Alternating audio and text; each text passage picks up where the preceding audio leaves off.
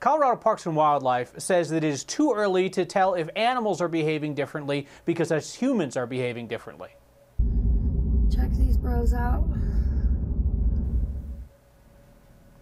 So, Idaho Springs, you tell me, is this just business as usual in town, or does any of this seem different to you? Pack of bros thicker than a Lodo strolling through Idaho Springs on Wednesday. Brandy took us this video near 12th in Colorado. If you see animals doing what you think are weird things, send that to us. Basically, because we're bored and we want to see.